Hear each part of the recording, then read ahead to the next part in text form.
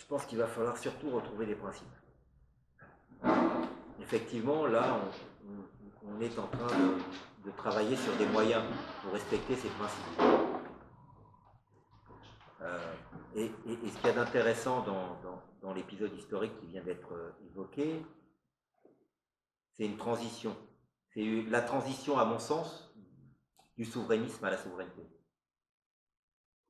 La royauté, c'était du souverainisme ancien. Le roi, c'était la France. L'incarnation de la France, c'était le roi. De droit divin. Et c'était le roi de France. Et d'ailleurs, lors de la Restauration, il y a eu un vrai débat. Est-ce qu'il fallait rester sur le roi de France ou le roi des Français? Puisque les Français étaient devenus acteurs de l'histoire. C'est pas neutre ce débat de représentation en fait. Et lorsque vous avez l'incarnation en un être humain de la France, ben vous êtes dans le souverainisme. Lorsque vous avez l'incarnation de la nation dans son peuple, vous êtes dans la souveraineté. C'est pas difficile à comprendre. Hein.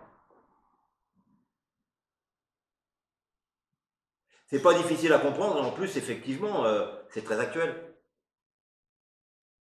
C'est ce qui permet de différencier, par exemple, le débat des souverainistes et de ceux qui se réclament de la souveraineté, mais ont du mal à exister, quand même. Va se dire. Parce que les souverainistes, à eux, ils sont bien organisés, ils sont structurés. Ils ont des débats, ils ont des, ils ont des médias, des médias euh, souvent classés à droite, hein, on va se le dire, hein, qui vous parlent de souverainisme.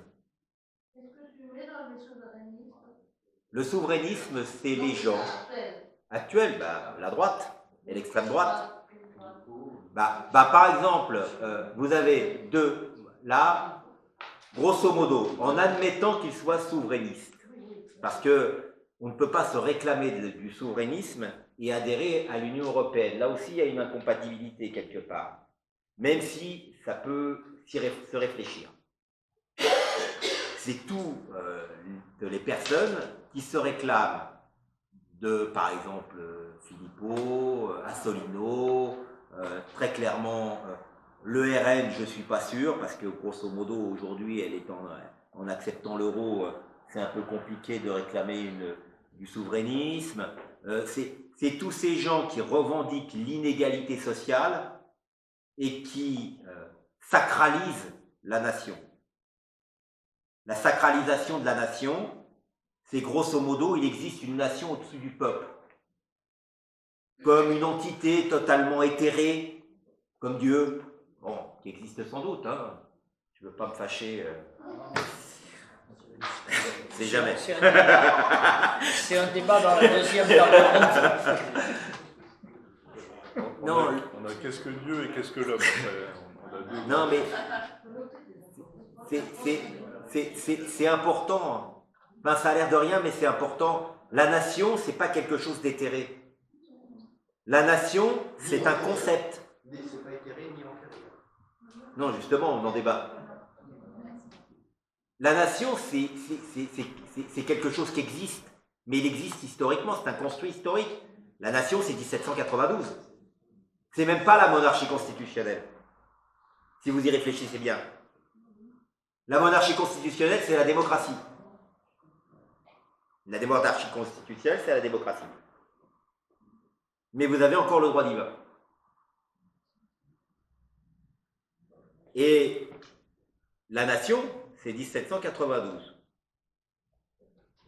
La vraie nation. Pas la nation au sens euh, droit de l'homme et du citoyen 89. Après, on peut en débattre. Mais au sens droit de l'homme et du citoyen de 93. Après, effectivement, cette notion de nation a évolué. On peut être en désaccord historiquement. Les faits euh, aujourd'hui, c'est quoi? C'est que les gens disent c'est nous le pouvoir. Quand vous avez les gilets jaunes, qu'est-ce qu'ils revendiquent au travers de la démocratie? Leur pouvoir.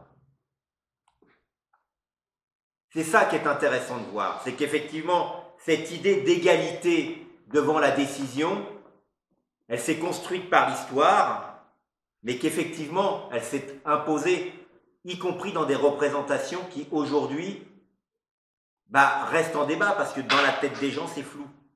Et c'est normal que ce soit flou. Ensuite, euh, moi je ne suis pas un historien, je ne vais pas débattre là-dessus. Ce qui m'intéresse là, très clairement, c'est de faire comprendre que la nation, ça existe.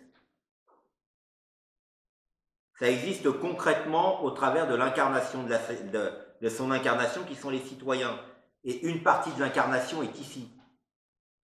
Si on ne comprend pas ça, à mon sens, on perd le sens de l'histoire. Après, c'est que mon avis. Mais je le partage. Eu não ouvi.